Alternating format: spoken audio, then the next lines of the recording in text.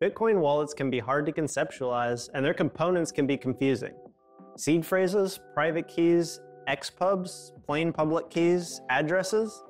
What's the difference between all these terms, and how do they fit together? If you're not sure, you've come to the right video. Let's get into it.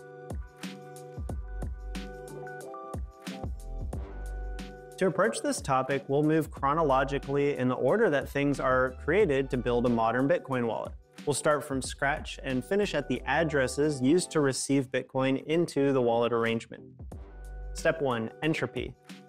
Our initial goal when building a Bitcoin wallet from scratch is to create the master private key which will control the wallet. The first step of this involves something called entropy. The master private key we're trying to create is really just a secretive large number. Entropy means using unpredictable randomness to arrive at that number, so it would be practically impossible for anyone else to guess it. This unpredictable randomness could come from many possible sources, such as flipping a coin 256 times, or rolling a bunch of dice, or using a specialized algorithm within a hardware wallet. Once this entropy is generated, it's important to keep a record of it so that the master private key we're trying to create can be calculated again in the future. This takes us to the next step, a seed phrase. To record entropy, we could theoretically just write down a bunch of numbers. However, this approach could easily lead to a mistake that might not be immediately realized. So instead, we use what's called a seed phrase. A seed phrase is created by translating numbers into words using what's called the BIP39 word list. A hardware wallet will do this automatically and show the words to the user to write down. Recording words instead of random numbers helps guard against mistakes. Seed phrases are extremely sensitive information because they can provide access to wallet funds by producing the master private key, which we'll cover next. Step 3 Master Private Key. A seed phrase can be imported into a hardware wallet and then converted into some numbers called a seed, which serves as a brief intermediary to then immediately create the master private key. This is the secret number which will ultimately control the wallet being built. Users are not typically shown their master private key directly, to discourage them from trying to record the number. For the reasons mentioned earlier, it's better just to keep a record of the seed phrase instead, which can always be used to recreate the same master private key later on. In a sense, entropy, seed phrases, seeds, and master private keys are all very similar and equally sensitive. However, they're not exactly equivalent because there is a specific order in which they are created. Step 4 Extended public keys. A master private key can produce and reproduce a tree of many other keys. The next term you should know is an extended public key, or XPub for short. A master private key can produce practically unlimited extended public keys, and each one could serve as the primary ingredient for building a wallet. One XPub is all that's needed to create a single sig wallet.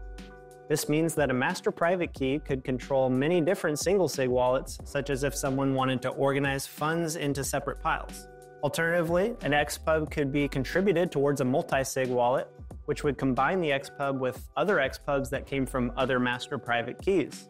Ultimately, just one master private key and its one seed phrase can participate in protecting any number of different single sig and multi-sig wallets.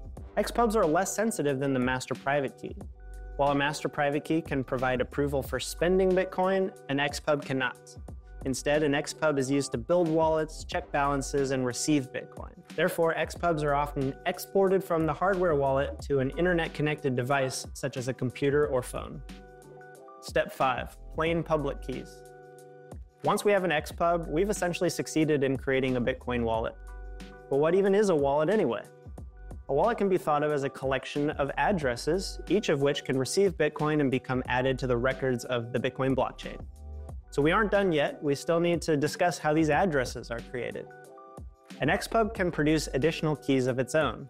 It can create practically unlimited plain public keys, which can each serve as a main ingredient for building an address. Plain public keys are typically hidden from the view of end users because they only serve as a stepping stone to reach the addresses that the user will actually be interacting with.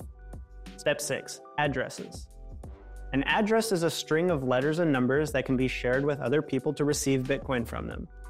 We've done a video all about addresses, which you can find using the card on your screen or the link in the video description. In this diagram, we see how the addresses for a single SIG wallet are created. One master private key produces an XPub, and the XPub produces plain public keys. each of which can build an address. Meanwhile, the addresses that make up a multi-sig wallet are built with a bit more complexity. This diagram shows the structure of a two of three multi-sig wallet. Beginning with three master private keys, each of them creates its own XPub to be contributed towards the multi-sig structure. Then each XPub can produce an ordered list of plain public keys.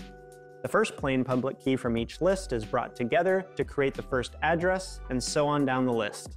Also included in the addresses are the multi-sig quorum rules that enforce the fact that at least two out of the three private keys are required to approve spending Bitcoin out of the address. And with that, we've covered the main components of a Bitcoin wallet. There are additional technical details that can be explored, but the information in this video should serve as a strong foundation to understanding common terminology and how to think about how wallets are structured.